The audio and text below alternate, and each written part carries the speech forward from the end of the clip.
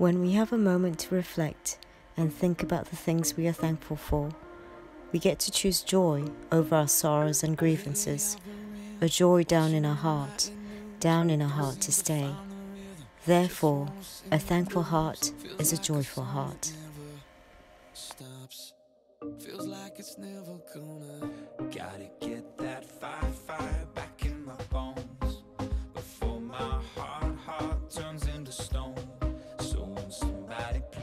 across the megaphone. I'll shout it.